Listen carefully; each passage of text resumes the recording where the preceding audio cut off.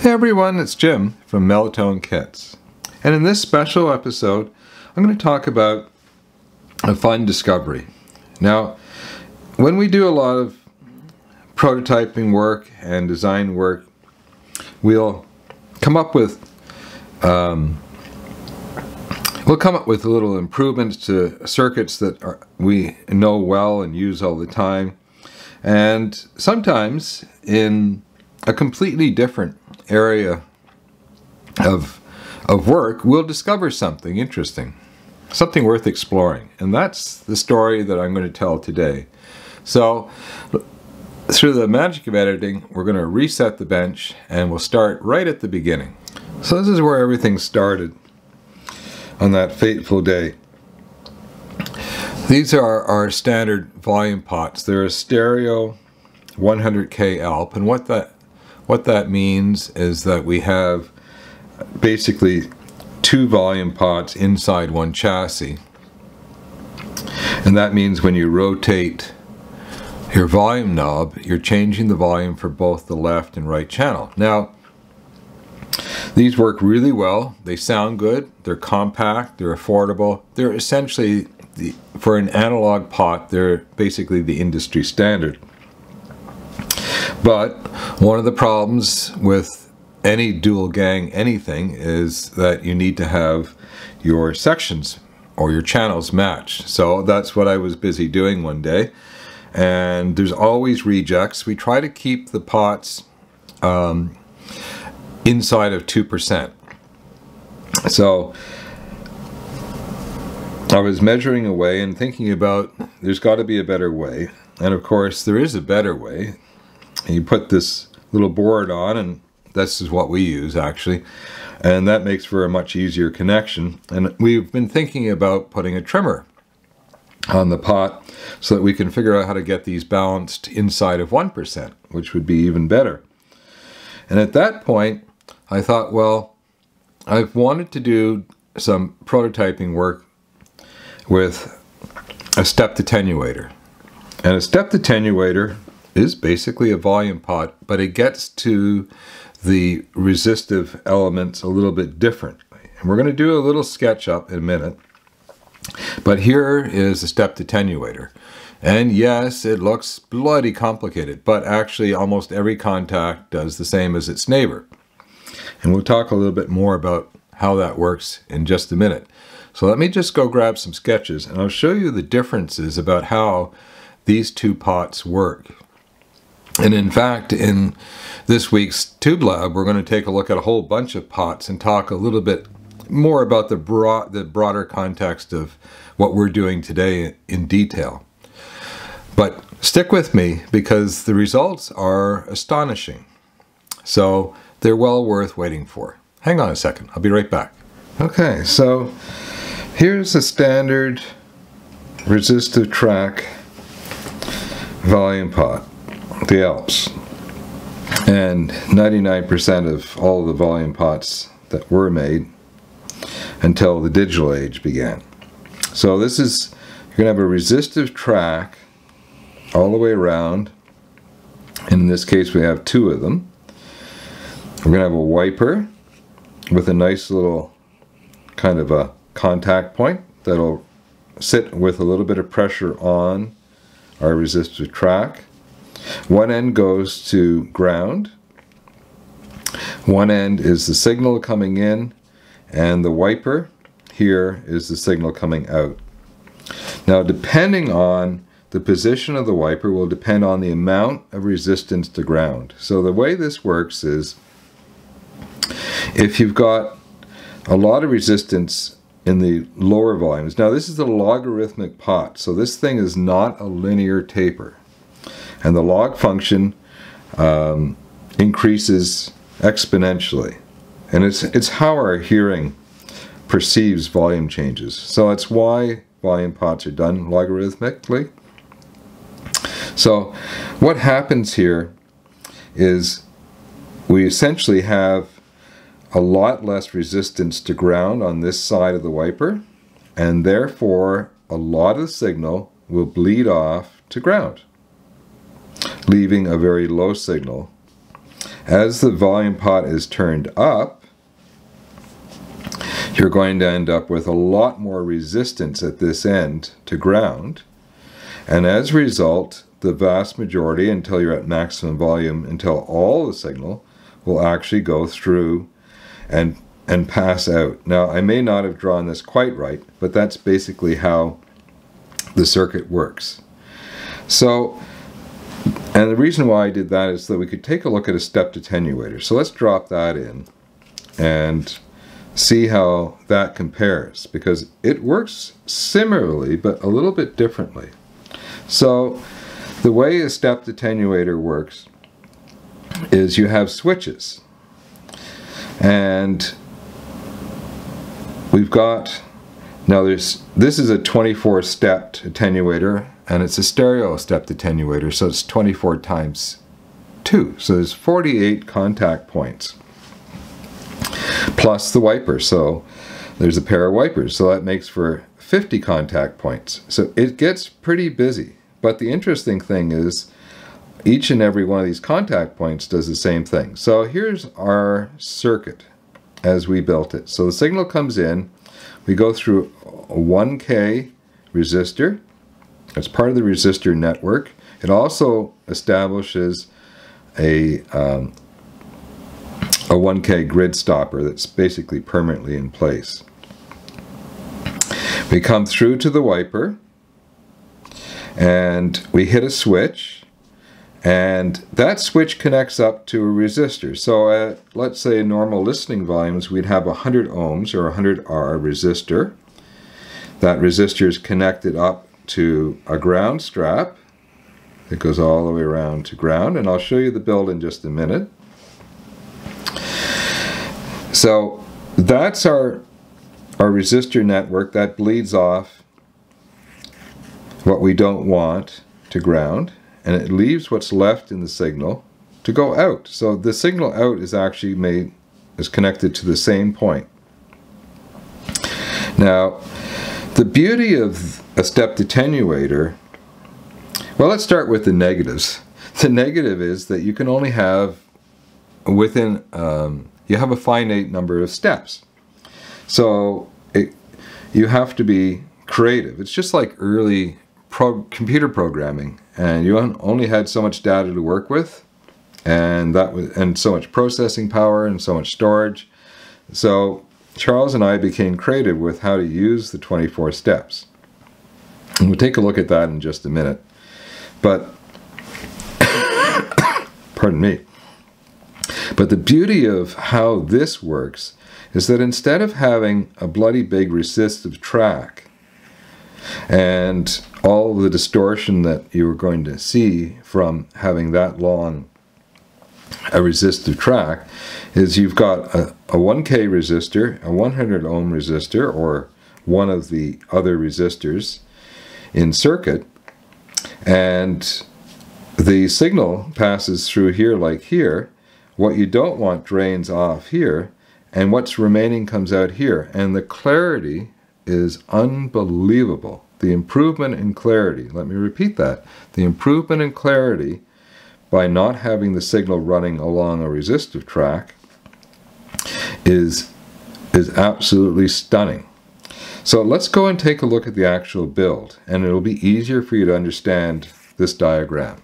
Okay, so here's our basic stepped attenuator prototype and we've got a volume knob and it goes clickety click, right? Because it's a step. It's not. It's no longer a continuous resistive track with a wiper on it. It's actually basically 24 switches, right? So here's here's a pair of inputs. This is the way we normally build our preamps.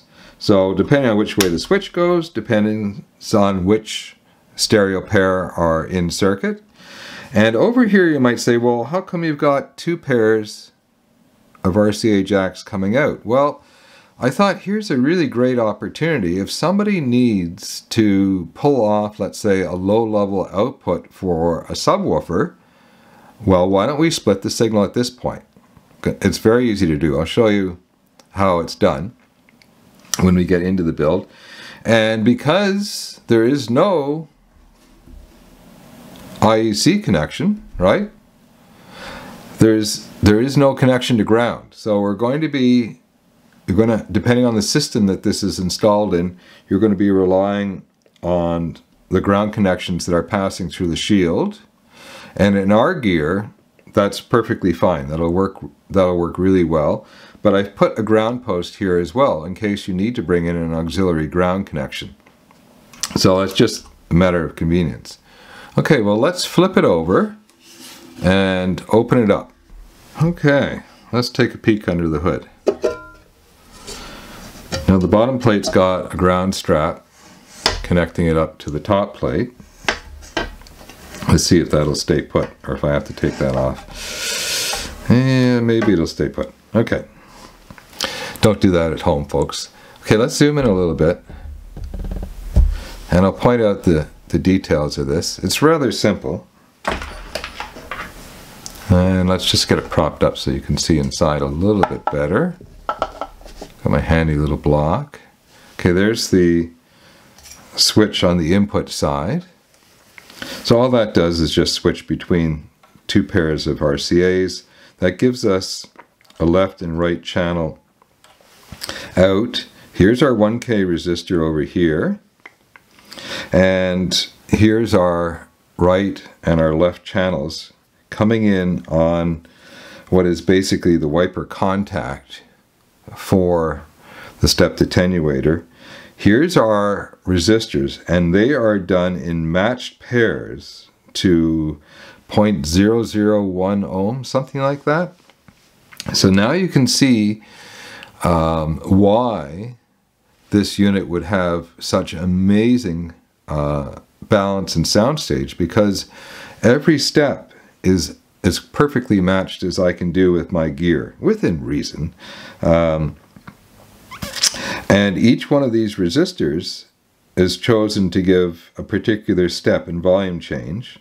You can see here, this is the ground um, strap that each pair is tied to. Comes all the way along and down here to the chassis. And our, um, I don't know if you can see, yeah, you can see it. Our, we've gone and strapped the shield of the RCA jacks are all strapped and they all come down to the same star ground point. And here is our connection. Let me go and get my sketch out because this might freak some of you out a little bit. So here's our connection. You see here's our input, there's our 1K coming on to the contact arm would be a better way to, to, to, to term this. Let's not call it a wiper because it's not a wiper. Let's call it a contact arm. And here is, here we're connected in. Here's our drain to ground. And here is our signal, the remainder of the signal coming out. And there it is, right there. There's the connection. And to give an option to have a second pair of RCAs out, it's very simple. You just you just run two left channels in parallel, two right channels in parallel, and Bob's your uncle. And uh, because there won't be, when you're feeding, the from a stepped attenuator would be feeding a preamplifier stage, or if we were taking off a second pair of RCAs and feeding a low level input to a subwoofer, we're not feeding any current. So we're not going to see an appreciable or very, very, very little amounts of current. You can't move voltage without current, right? Everybody gets that. But the amount of current that we're talking about is extremely low. So we're not going to see a voltage drop of the signal or nothing that you could appreciably measure. So that's that's the whole shebang. And the um, the advantage to doing the volume this way, of course, is a, there's a number of advantages. One, as I mentioned, you get a very precise volume on your left and right channels, which one of the first things Charles noticed in critical listening is he said, wow, the soundstage is absolutely stunning, and it is stunning. Now, we do a dual mono topology throughout uh, all of the kits. And um, and that helps an enormous amount in getting for good stereo separation and as a result great soundstage. This is just basically building upon that whole that whole design philosophy.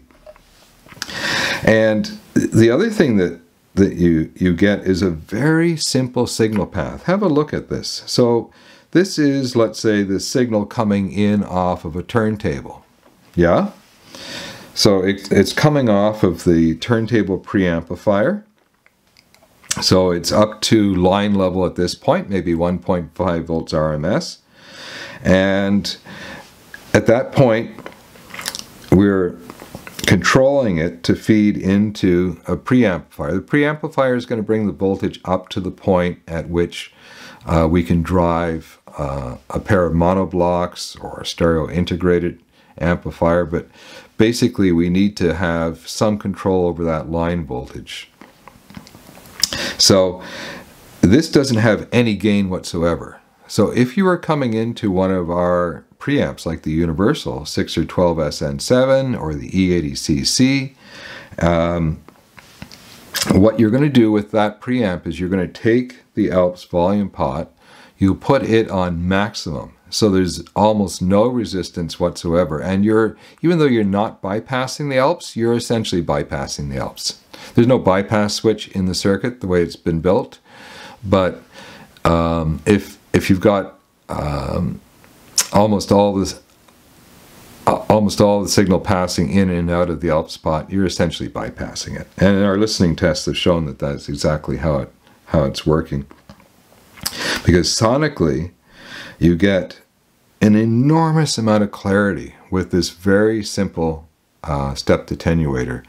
The um, the whole it's almost like a veil has been removed from the signal. And the interesting thing is, if you're in an analog system, so if you're playing records and you've got our universal uh, uh, kit phono preamp in circuit, the uh, the level of detail off of a vinyl record is second to none. I've never heard anything like it in my life. Um, there's things we're hearing on the records that I, I never knew even existed. And we have a fairly highly resolving system the way we are. The interesting thing, though, is if you bring that level of clarity to the digital side, so not our phono in, let's say we've got one of our one of our DACs coming in here, and, and again, we've got line level, so something around 1 to 2 volts RMS. Typically, you're going to see about 1.5 volts RMS nominal. Um, the digital side, the clarity increases, yes, absolutely, um, but it doesn't help the sonics. And we think the reason for that is the digital side has already got a bit of an edge to it. Even our really good system and even with tubes further downstream in the preamp, running really beautiful Sylvania GTAs in the universal preamp, tube monoblocks, the digital side doesn't want any more clarity. What it wants is a little bit of a smoothing. And the interesting thing is the an Alps volume pot um, has just a tiny little bit. We figure it has a tiny little bit of resistance, uh, sorry, of distortion in the resistance, in this resistive track here. And as a result, it actually helps smooth out the digital sound. So even though you could say that the digital side has improved significantly, um, in a highly resolving system, it actually works against you, not for you. Isn't that interesting? Anyways, the this sounds so good in the vinyl system, in the all analog vinyl system, that I can't play records anymore without this in circuit. It's just absolutely phenomenal, the level of clarity. And because vinyl has an inherent amount of warmth, I think it can stand that level of clarity. It, unlike the digital side. Isn't that fascinating? And I came to this um, prototype build and this and this discovery it's a voyage of discovery, folks, every day here. But I came to that simply because I was bored um, balancing, checking, and, and measuring volume pots uh, and making sure our inventory is you know up to snuff. So, anyways, uh, we'll probably talk some more about this in the future. We're seriously thinking about making a kit of a stepped attenuator. I'm not sure what you think about this job of wiring up the resistors. Um, I would call this an intermediate to expert uh, soldering job. Um, this is not something a beginner should tackle.